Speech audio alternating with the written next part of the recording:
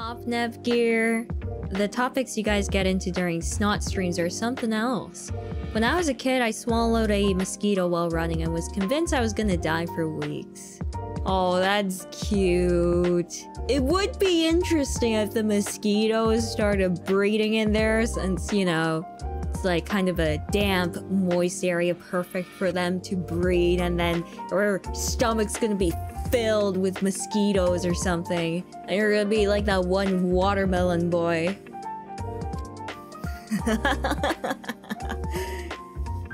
it's disgusting, I know. But it's okay. It's probably just digested, so yeah. Why is this the first thing I hear?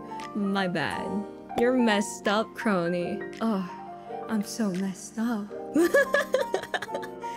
now I'm worried again. Don't be worried. No.